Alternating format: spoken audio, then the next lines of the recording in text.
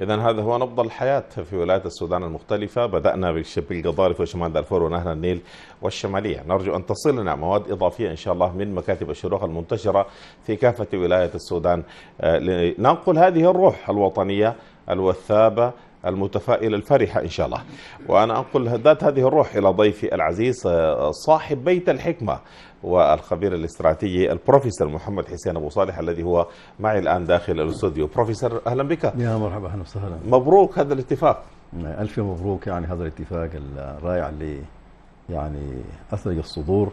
نعم. وأنا منذ هذا الصباح أتلقى في تهاني عيد الفطر المبارك. العيد الحزين يعني يا دوب يقول لي يا أخي رب يتقبل الصيام والقيام و...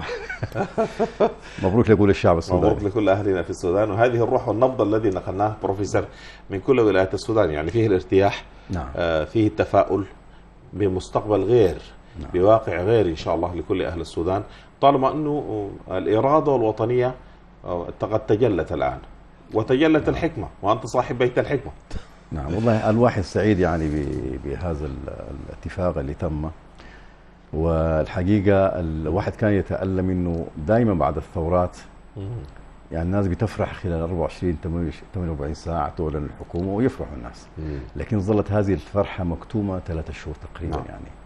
ففي هذا الصباح الباكر الناس في يوم الجمعة خرجوا في هذا اليوم الجمعة المبارك خرجوا في تعليمتان عند أهل السودان. نعم بالضبط. يعني يوم مبارك ما في كلام.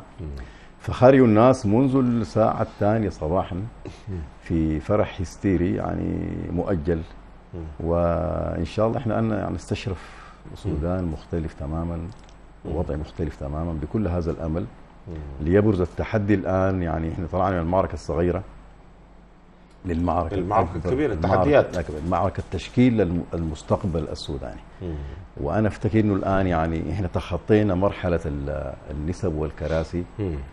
لكن التحدي قدامنا إنه أن نتوافق على فكرة الوطن. نعم فكرة وطنية. الفكرة الوطنية. مشروع الوطني. أنا أفتكر أنا أمام قوى الحرية والتغيير والقوى الأخرى التي شاركت في الثورة هو الآن تطوير ميثاق وطني آه نتوافق فيه على آه أفكار للتأسيس لتشكيل المستقبل السوداني. إحنا الآن مسؤولين أخلاقيا بالاستجابة لرغبة آه، الثوار. الشعب السوداني الذي ثار وبذل الروح وبذل الدم وبذل المال وبذل الجهد عنده أهداف. وبالتالي كل أهداف الثورة هي تتلخص في بناء سودان مختلف يعني ينرع إلى مصاف دول العالم. دولة تتناسب مع تاريخها. العظيم. آه، دولة يعني اقتصاد يعني يشبه مواردنا ومزايانا. آه، حلم سوداني حقيقي يعبر عن البلدان الحقيقة الشعارات الثورة بتعبر عن حلم يعني مكتوم في الصدور. عبر عنه هذه الثورة. إحنا الآن الحكومة القادمة يجب أن تعبر عن هذا الحلم المكتوم وتعلن عنه. إحنا محتاجين ان نتوافق على هذا الميثاق. يعني إحنا في ميثاق إعلان قوى الحرية والتغيير. تم إسقاط النظام. فيه بنود ما زالت سارية اللي هي رد المظالم والعدالة الانتقالية. لكن إحنا محتاجين لإعلان النهضة والمستقبل. ولذلك أنا نقلت قبل قليل لضيفي من قوى الحرية والتغيير الأستاذ ساطع الحاج. روح غائبة عندنا السودان لا نحسها. نحن من خلال سواء كان نحن كمراقبين إعلاميين اللي هي الغيرة على الوطن. نعم. بمعنى إنه كل الحديث الآن يدور حول المحاصصات حول النسب. الجنة النظر في نسبة المجلس التشريعي المحاصصة فيما يتعلق بالمجلس السيادي. يعني نود أن نسمع صوت يتحدث عن الغيرة على الوطن حق الأجيال. آه، الحديث آه، الحديث بوطنية في حضرة الوطن. أن نتحدث بحضرة الوطن بعلم وأن نصمت بحلم. بمعنى أنه نحافظ على حق الأجيال. صحيح. نتحدث بروح وطنية. صحيح. يعني كل أنا أتمنى أن لا يتحدث أحد في هذه المرحلة الحساسة جدا. إذا كان هنالك إدراك لما يعانيه الوطن الآن على المستوى الاقتصادي وعلى المستوى السياسي وعلى مستوى قطيعة إقليمية وقطيعة دولية وواقع آه، يحتاج فيه تغيير. أن أن نتذكر الوطن الذي يحتضن الناس الآن الذين نعم. يتصارعون تتصارع في أرض الوطن تتصارع على خيرات الوطن. فلنحترم الوطن. إلى مدى نغير هذا السلوك بالنظرة إلى وطن فيه شخص يهتم به كما يهتم بحزبه أو بشخصه. الحقيقة إحنا الآن محتاجين في هذه المرحلة أن نرتقي إلى مستوى أعلى مستوى الوطن. أن نرتقي إلى مستوى الثورة السودانية. ما في واحد من الثوار ده إحنا سمعنا بيتكلم على أجندة ضيقة. أنا حللت الحقيقة الشعارات ال 55 الأساسية.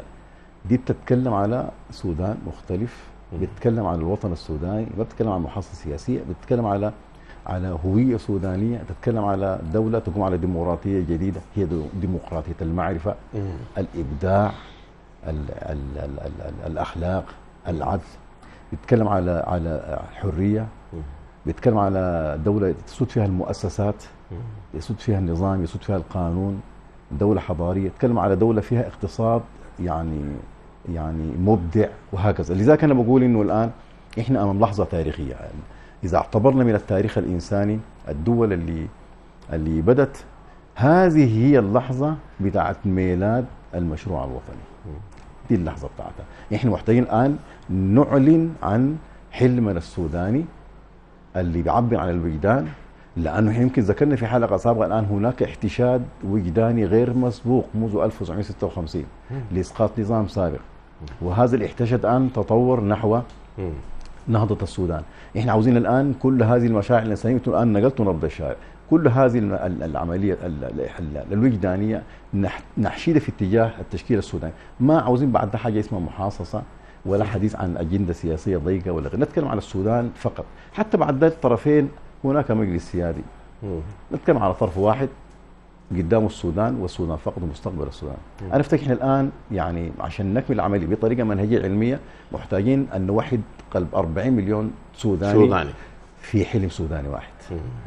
ونسعى لتحقيقه وبعد ذاك الحكومة حتبقى زي زي الفاسيليتيتر المسهل مسهلين. لكن الحقيقة هو الشعب بنفسه هو اللي حيتولى عملية تأسيس النهضة. تأسيس. فخلونا نحشد هذه هذه العملية. الآن المساله بتاعت ال- المناصب أنا بقول يعني يعني حقيقة الأمر ما تغرنا كثير هذه الكراسي أنا بقول لهم دائما يعني ال- الكرسي ده أو المنصب هو زي المقاول زي المقاول علينا المصمم اللي عمل هذا المبنى إحنا قاعدين فيه ده. يعني هو زول مهندس صمم الخرطة وكده وسلمها لمقاول نفذها. إحنا الآن بنتكلم على المقاول حتى الآن ما بيتكلم لنا على ال- الخرطة. خرطه نفسه الخرطة- قاعد نتكلم عنه الخرطة السودانية. يعني أنا بتذكر كان في صحفيين سألوني عن ال عن ال منو اللي تفتكر مجلس السيادة الجاي. تفتكر منو اللي حيكون رئيس وزراء؟ تفتكر منو يكون حيكون وزير خارجية؟ وهكذا يعني. قلت لهم والله أنا افتكر دي أسئلة مهمة لكن في حاجة أهم منها وكان أمامنا مبنى في كورنثيا الفندق قلت لهم المبنى ده اللي عملته البيت كان داكه سودانيه. خلوا بالكم المبنى ده كان في الأول ما فيش في خياله بس. مم. إحنا الان في خيالنا نشوف في السودان. نعم. ثم حولت الخيال ده ل- ماذا نريد نحن بالضبط. للوطن فحولت الخيال ده لمبنى في شكل سفينة وسلمته في شكل ورقة لمهندس نفذه. في كل هذا الاحتشاد العلمي الاحتشاد الإبداعي الاحت- الاحتشاد ال- ال- ال- ال- الهندسة الرياضيات فن حس جمالي سلمت للمقاول المقاول نفذ المبنى. المقاول ده هو رئيس الوزراء. أيوه. لكن وين مم. الخطه الوطنيه ورئيس الوزراء علينا أن نعلي قيمة مهمة جدا. رئيس الوزراء له فترة محدودة. نعم. رئيس الوزراء خادم للوطن أيوة. وخادم للمواطن. نعم بالضبط كده. وموظف يؤدي واجبه. خادم للشعب. مثله مثلنا خ- خادم للشعب خادم, خادم للشعب. يعني لما نحن نرى مثلا رؤساء ال- الوزراء في في في أستراليا وفي أوروبا بيكون موقف سيارة الحكومة وراكب دراجة. عادي. يجيبها مكتبه هو خادم للناس. وليس وجد لي لي ليترفع على الناس أو ينظر إلى الناس هي الآن التحدي قدام ال- ال- الحكومة الأجهزة الحقيقة كلها المجلس السيادي والحكومة القادمة حتكون أمام مراقبة صعبة جدا لأنه هذا الشعب واعي جدا واعي، واعي الوعي اختلفت الآن. كده. بالتالي حينظر لسلوك رئيس الوزراء لسلوك الوزراء لسلوك المجلس السيادي يعني طريقة تصرفهم هل هم على على مستوى ال- التغيير اللي هم تغيير. بيتكلموا به إحنا عاوزين رئيس يركب لي عربية صغيرة. يتواصل بها ما محتاجين إحنا للحشود الكبيرة مم. محتاجين لرسول يكون سلوكه مم. سلوك محترم. رئيس وزراء لما يسافر برا يرجع الدولارات الحسابات المالية. نعم. اللي, اللي هو الاستحقاق. الاس- الاستحقاق الخارجي بتاع السفر. المسيره الخارجيه دايرين رئيس وزراء يرجع يوقف المحسوبية والوساطات وهكذا. مثل ما أرجع سيدنا عمر إبل عبد الله بن عمر بالضبط. إلى بيت الم... إلى بيت بيت المال عند المسلمين. أي. وأنا بقول لهم الناس عليه لا قال لي ما حقتك. سيدنا ما- سيدنا عبد- سيدنا عبد الله بن نعم. عمر قال للخليفة أمير المؤمنين عمر بن الخطاب لمن هذه يا- عبد الله؟ قال له لي. قال لا ليست لك. حتى لا يقال أن ابن أمير المؤمنين استفاد من موقع السلطة. فأعد هذه ال... نعم هذه الإبل إلى بيت دار المسلمين. طيب. فأنا أفتكر إنه إحنا حنكون محاصرين بهذا لأنه ثوره آه، ديسمبر 2018 ما يميز عن ثورة أبريل 85 وأكتوبر 64 هو مستوى عالي جدا من الوعي الشبابي. وأنا أعتقد إنه الطرفين جلسوا بهذه الروح الوطنية. يعني في عوامل وقفت. صحيح. في المبادرات الوطنية اللي كان لها دور كبير جدا في تهيئة الطرفين في نصح الطرفين مم. وفي تقديم أفكار كثيرة جدا ساعدت في التوصل لهذا الكلام. لكن مم. أنا أعتقد الحسم مم. وبصراحة هو خروج الشباب والشابات في 30 يونيو. كان رسالة حاسمة جدا للطرفين. نحن هنا. وهذا الشباب سيكون موجودا. بعد تشكيل الحكومة إنه لازم يكون مراقب للأداء. مراقب. تمشي حكومة زي ما أنا- حصيف. وحصيف. افتكر إنه كان دي ذاتها فيها نوع من تأمين الثورة وأهداف الثورة. ما ننزلق لأي واحد من اخطاء الماضي أنا أفتكر إنه الآن إحنا حقه يعني آه، نعلي الحكمه في هذه المرحلة. يعني إحنا محتاجين لاستراتيجيات طيب. بتاعه لكن في نقطة مهمة نعم. بروفيسور محمد. نحن نتحدث الآن عن القوانين عن ال- الأخلاقيات الناس. أخلاقيات من يمارس هذه المهنة؟ آه، أي شخص لابد أن يمارسها بنزاهة. نعم. وأن يمارس هذه المهمة كذلك آه، بكل تجرد. ما المطلوب من تشريعات القوانين؟ حتى تكون هذه القوانين رادعة وعليه كذلك أن يتذكر أن يتذكر أنه مساءل صحيح. وأنه مراقب. ليس مراقب فقط من الل- باللوائح والنظم والقوانين والدساتير وما كذا ولكنه أيضا مراقب من الرأي العام أنا أعتقد إنه مراقب من. الناس. إحنا الآن محتاجين لمراقبة من ثلاث اتجاهات مم. أو حنوجه نفسنا إحنا ملتزمين نؤسس للحكم الراشد واحد إحنا عاوزين نجيب شخص مسؤول مؤهل من حيث الجدارة الأخلاقية والجدارة ال- المعرفية عنده معرفة أو مهنية وعنده أيضا يعني آه، إبداع إحنا. محتاجين لمبدعين. وبالتالي عاوزين إنسان بجدارته الاخلاقيه يراقب نفسه. يراقب نفسه. الناس الثاني إحنا محتاجين لإنه إحنا يعني نعمل حسابنا من مراقبة الشباب السوداني والشابات وراقبة البرلمان القادم. والمراقبة الذاتية هي أهم من ده كله. لكم الضمير. الضمير. اللي هي دي الجدارة الأخلاقية. رابعا إحنا أول حاجة يفترض تعميلها أو من أولى أولويات الحكومة القادمة هو إعمال مبدأ الشفافية ومبدأ المحاسبة. من أول لحظة نشاطنا كله يكون شفاف. التعيين الترقيات التنقلات الوظائف تذكرت في هذا. الحديث آلية مراقبة النظراء وهي أحد الآليات التي يعمل نعم. بها الاتحاد الأفريقي نعم، النبات. نعم. آه، قالوا في التقرير الذي صدر عن النبات في قيمة 2008 شهر 2 2018 إنه رواندا التي شهدت الجنوسايد الإبادة الجماعية نعم. هي أفضل دولة طبقت آلية مراقبة النظراء. نعم. بمعنى إنه أصغر موظف. لا لا يجد لا يجده غائبا عن موقعه. إن شاء الله بص شغال في الحد في منسق بساتين وقت الدوام يكون موجود في بستانه في موقعه في موقعه الذي يسأل أن يكون فيه. صحيح. يعني إحنا عندنا والله الفطور بناخذ فيه ساعتين.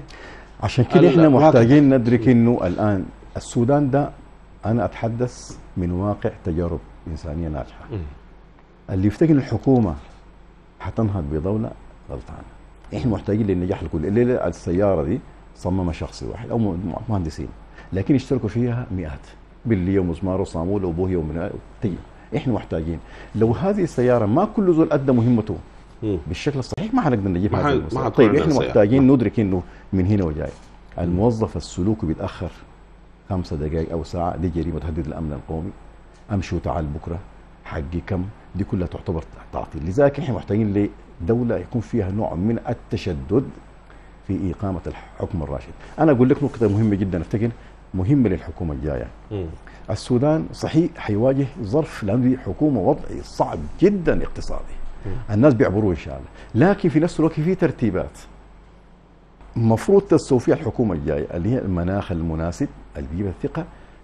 أنا أتصور حجم المال الذي سيتدفق نحو السودان فقط إذا وفرنا المناخ اللي بيعبر عنه هناك حكومة محترمة ثقة يسود فيها النظام يسود فيها القانون تسود فيها الشفافية مقيدين بقبول افضل عطاء هذه الترتيبات المح... ال- ال- العديدة مع سلوك حكومي شفاف و- وهيبة وسلوك من الوزراء القيادة التشاكس. الحياة اللي بتجيب التشاكس شنو في في أداء ال- في الأداء المؤسسات المختلفه واهم ما فيها ال cabinet مجلس الوزراء.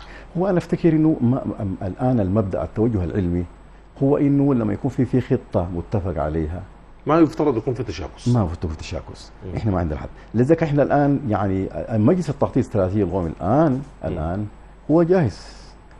بخطة سيعرض بحكم اختصاصه سيعرض خطته لنا. وبالتالي إحنا ما عندنا مجال غير إنه نحقق أهداف. إحنا رأينا إنه في خطط الآن مقترحة حتى من بيت الحكمة فيها نوع من التفكير الجمعي. يعني انت الان عاوزات تعمل لك منظومة معينة عشان نخرج بها البلد من الأزمة دي هي بتلقى فيها كل الوزارات لازم تشتغل فيها عشان تطلع. يعني أنا أشرح بمعنى إنه الآن آه ممكن نتكلم على منظومة الزيوت القضارف. أو منظومة الغاز والنسيج في الجزيرة.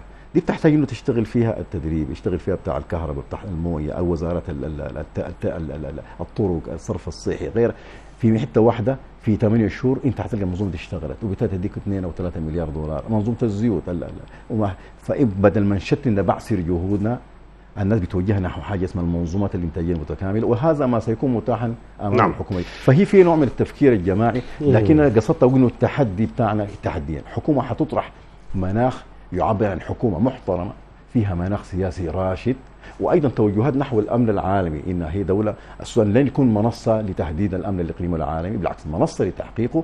في هذا الجو حتجي الأموال قياس للتجربة الإنسانية. لكن في الداخل لابد من هيبة الدولة فإنه أي مواطن لازم يدرك ان دوره. أمشي أي موظف في الدرجة التاسعة. يعطل استثمار ممكن يؤديه الليلة أو بعد ساعة. يقول له بكرة نعتبر دي جريمة يتحاسب عليها. ده السكة اللي بتودينا عندنا مشكلة كبيرة يا دكتور. البيروقراطيه والتلكؤ في أداء الواجبات والغياب المتعمد عن العمل والمزاج مزاج السوداني فيما يتعلق بالوظيفة العامة. كل هذا يعني يحتاج يعني نحن نحتاج هيكل يحتاج في هذا. الجانب. نحن محتاج لإعادة هيكل الخدمة المدنية ما في كلام. ودي بتحتاج ل- ل- لخطوات قد تحتاج وقت. لكن هذا لا يعني أن هناك حلول إسعافية الناس يعني تحل بها. لكن كده يا أستاذ مامون لو لاحظت يا دكتور للحاصل في الساحة بتاعت الاعتصام في السودان كله. لو لاحظت السلوك بتاع الشباب والشابات هو سلوك راقي جدا. ديل ما هم الشباب اللي ممكن يعملوا لك السلوك القبيح جوا الخدمة، إحنا الآن محتاجين لكل الرقي اللي شهدوا ساحات الاعتصام من تعامل راقي ينتقل إلى الخدمة المدنية، لكن أنا بقول إنه الآن إحنا شباب السودان في كل العالم وخبراءه الآن هم راجين لحظة هذا الاتفاق. من ضمن هؤلاء شبابنا في مايكروسوفت. أنا جلست مع مجموعة من نعم. مايكروسوفت نعم. وسيليكون فالي. ديل جاهزين الآن حكومة في سنة إحنا ممكن نعمل مشروع نكمل مشروع الحكومة الرقمية. تعالي لنا قضايا البيروقراطيه إلى ان نعالجها بالطريقة بل مستعدين أن يدفعوا مالا. مستعدين يدفعوا مال لبلدهم الآن. بالضبط كده. مم. فانا افتكر انه كل الناس الآن في مايكروسوفت وفي سيليكون فالي. بالأمس حضرت اجتماع للمركز القومي للبحوث. هؤلاء العلماء ال ال الكرام. قامات ما عندك غير أن تقف لها وتنحني لها احتراما. هم هنا ومعروفين في خارج السودان عندهم الأفكار فأنا بقول إنه كل المشاكل قدامنا هناك حلول لها لكن إحنا محتاجين للروح المخ... إحنا عاوزين الشعب يحسوا ان هناك روح طيب. جديدة. وروح مختلفة تسود السودان طيب بروفيسور محمد حسين أبو صالح هنالك نقطة مهمة جدا وهي ما يعني سبحان الله لم يكن هذا الاتفاق ان يتم بهذه السرعة، لم يكن متوقعا له. اللي هو عامل آه، بين قوسين الثقة. نعم إلى أي مدى نحن نعالج هذه الإشكالية طالما إنه حتى ال- هذا الاتفاق جاء بعد جلستين فقط للتشاور المباشر بعد قطيعة استمرت لفترة. إلى أي مدى نحن نعمل على ترميم ثقة بين مختلف التيارات، يعني مثلا قوى إعلان الحرية والتغيير فيه اليسار وفيه اليمين وفيه يمين الوسط وفيه يمين وفيه يسار الوسط وهكذا. إلى أي مدى نعزز الثقة بين مختلف هذه التيارات. أنا أنا على تمام إحنا سودانيين وأي سوداني يعرف تماما إنه هذه اللحظة مهما طال الخط هي كانت حتحصل لأن إحنا في السودان مهما اختلفنا نتفق لكن أقول إنه جاءت ظروف كثيرة جدا يعني عكرت هذا المناخ. ودعني أنا في هذه المساحة أحيي كل ال- الشخصيات السودانية من العلماء والخبراء والجامعات وغيرهم اللي قدموا من المبادرات المتعددة. أنا أعتقد إنه الطرفين دي لما يجوا هنا بهذه الروح خلفها كان عمل ضخم جدا من المبادرات الوطنية. وهي كثيرة كما تعلم يعني. أنا أعتقد إنه هذه المبادرات الوطنية أنا بتكلم عن مبادرة الاتحاد الإفريقي والإثيوبي ونشكرهم على هذا الجهد لكن حقيقة تهيئة المسرح مع الأطراف المختلفة وبلورة الأفكار هي كانت الجهد رهيب لعلماء من مبادره جامعة الخرطوم انتهاء بالمبادرات اللي طرحتها القوى العلمية واتحاد الجامعات السودانية وحتى المنظمات المجتمعية. نصحوا الطرفين بشكل واضح طرحوا أفكار يستلهموها. ضغط الطرفين هو اللي خد ونصيحتهم هو خلى الطرفين يخطوا في موطن هذه المسؤوليه اللي أنا أفتكر إنه الآن أنا متأكد بعد مرور شهر واحد حنكتشف إنه العساكر ديل سودانيين غيرون على السودان. نعم. وحنكتشف إنه ضيعنا وقت كثير جدا إنك تشك بعض. حتى البعض الآن يقول لك ده يساري وده غيره. أنا بقول لك الآن يعني آه، ما هدف صلي وصوم بقول لك إحنا مسلمين مش كده؟ قال لك إحنا إسلاميين صافي وهكذا. الحج قال لك إسلاميين يعني ذات فعشان ذات كده يعني. حتى يقول لك مصطلح إسلاميين داير مراجعة لأنه إحنا في النهاية كلنا مسلمين مهما كانت توجهاتنا بنصلي ونشهد أن لا إله إلا الله رسول الله فدي كلها حياة كان معكر الجو وحتى المعتصمين منهم السلفيين ومنهم الصوفية ومنهم اليساريين وكلهم. مسلمين يعني. خلونا نتكلم كل- إحنا كلنا كل سودانيين. كل- الإيديولوجية السودانية كلنا. سودانيين مسلمين وفي النهايه نعم. خلونا يجمعنا هذا الوطن وحب السودان الكبير نعم. وفي النهاية أفتكر بهذه الروح الجديدة نمشي إن شاء الله اللي قدام ناتل نتمنى أن نرى الطرفين لهم ثقة كاملة وأن نرى السودان مستفيدة من هذا الاتفاق ونحن والله تحدثنا معك بالحكمة في هذه الجزئية لأنه التفاصيل ذكرت يعني نعم، وعرفت نعم، الآن نعم. ونتمنى أن نتواصل معك إن شاء الله إن شاء الله إن شاء الله وبكل تأكيد يعني أفردنا في هذه المساحة آه، حب الوطن الغيرة على الوطن وكذلك أن نتذكر الوطن وقيمه العليا والانتماء إليه فوقا للمصالح الشخصية والحزبية الضيقة. شكرا لك الله بروفيسور. يخليك إن شاء الله. شكرا جزيلا. الله إذا مشاهدينا الأعزاء نشكر البروفيسور محمد حسين أبو صالح الخبير الاستراتيجي وكذلك صاحب بيت الحكمة على حضوره وتلبية الدعوة للمشاركة معنا عقب صلاة الجمعة مباشرة. إذا نحن لا نزال معكم في هذه التغطية الخاصة. آه، وننوه آه، أن زميلي نزار البغداوي سيواصل معه ضيوف بعد قليل إن شاء الله. آه، مبروك للوطن. مبروك لكافة فئات المجتمع المختلفة للأسر السودانية آه، للكبار في السن الكهول للأمهات للآباء للشباب للبنات آه، للمسافرين للمقيمين لكل محب السودان. سنعود بعد قليل.